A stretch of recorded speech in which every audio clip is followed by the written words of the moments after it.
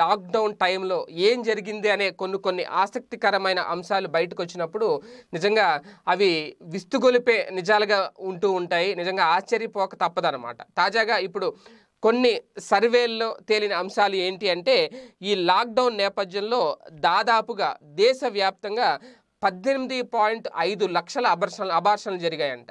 నిజంగా ఇది అందరికీ కూడా షాక్ ఇచ్చే అంశమే. అయితే ఇది ఎటువంటి ఆధారాలు లేకుండా చెబుతున్న మాట అయితే ఏం కాదు. కొన్ని సర్వేల్లో తేలిన నిజాల ఆధారంగా అంతర్జాలంలో వస్తున్న వార్తల నేపథ్యంలో చూసుకుంటే కనుక ఈ లాక్డౌన్ సమయంలో అత్యంత భారీగా అబార్షన్లు అది కూడా గైనకాలజిస్ట్ సలహా లేకుండానే జరిగాయి అనేది కొన్ని సర్వేలు బయట పెడుతున్న అంశం. ఎందుకంటే దేశంలో మహిళల్లో సురక్షిత అలాగే చట్టబద్ధమైన అబార్షన్ల గురించి అవగాహన కల్పించే ఒక సర్వే సంస్థ ఉంది. అది ఒక ఫౌండేషన్ ఉంది.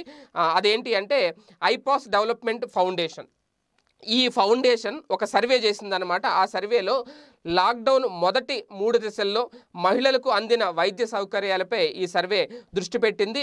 లాక్డౌన్ ఒకటి అలాగే రెండు వన్ టూ ఈ రెండు దశల్లో కూడా మొత్తం యాభై తొమ్మిది శాతం మహిళలకు అబార్షన్ అంశంలో ఆసుపత్రికి వెళ్ళడం అలాగే వైద్యుల్ని కలవడం అలాంటి టైంలో సరైన సదుపాయాలు కల్పించలేము అని చెప్పి వైద్యులు ఎప్పుడైతే చెప్పారో అన్లాక్ దశలో కూడా ఈ పరిస్థితి మార్పు వచ్చింది అనేది ఈ సర్వే వెల్లడించింది. ఈ సంఖ్య ముప్పై మూడు శాతానికి పడిపోయిందంట. అంటే లేదంటే యాభై తొమ్మిది శాతం ఉండేది.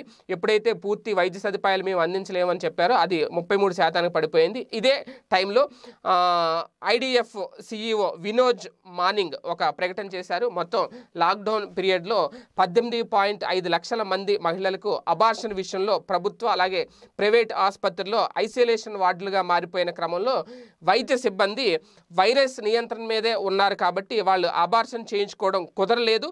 దాన్ని సేఫ్టీ అబార్షన్లుగా కుదరక ఏమాత్రం సేఫ్టీ లేని అబార్షన్లు చేయించుకున్నారు అనేది. ఎందుకంటే ఎప్పుడైతే హాస్పిటల్లో అన్ని వార్డులు కూడా ఐసోలేషన్ వార్డులుగా మార్చేశారు కరోనాకి ఇప్పుడు ఎక్కువ ప్రాధాన్యత ఇచ్చారు కాబట్టి ఇంకా వేరే వైద్య చికిత్సలు అందించడానికి లేదంటే ఇటువంటి శస్త్రచికిత్సలు చేయడానికి వీలు లేని నేపథ్యంలో చాలామంది డాక్టర్లు ప్రికాషన్స్ తీసుకోకుండానే డాక్టర్లు లేకుండానే వాళ్ళు ఏదో కొంచెం నాటు వైద్యాలు ఘాటు వైద్యాలు అంటారు కదా ఆ తరహాలో అబార్షన్లు అయితే చేంజ్ చేసుకున్నారు అనేది ఈ సర్వేలో తేలిన అంశం. అంటే లాక్డౌన్ కారణంగా ప్రైవేట్ ఆసుపత్రులు కూడా చాలా వరకు క్లోజ్ చేశారు. దాంతో సేఫ్టీ అబార్షన్ అనే దానికి ఆస్కారం లేకుండా పోయింది. కానీ దాన్ని ఏమంటారు? అనురక్ష గర్భస్రావాలు జరిగిపోయాయి అనేది ఈ సర్వేలో తేలిన ఒక విస్తుపోయే నిజం అనమాట నిజంగా ఈ లాక్డౌన్ టైంలో పద్దెనిమిది పాయింట్ ఐదు లక్షల మంది అబార్షన్లు చేయించుకున్నారు దేశవ్యాప్తంగా అంటే నిజంగా సంచలనం రేకెత్తించే అంశమే. ఇదే అంశాన్ని ఐపాస్ డెవలప్మెంట్ ఫౌండేషన్ చేసిన సర్వేలో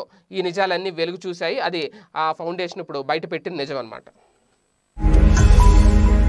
ఈ వీడియో గనుక మీకు నచ్చినట్లయితే లైక్ చేయండి షేర్ చేయండి. మరిన్ని వీడియోస్ కోసం మా ఛానల్ను సబ్స్క్రైబ్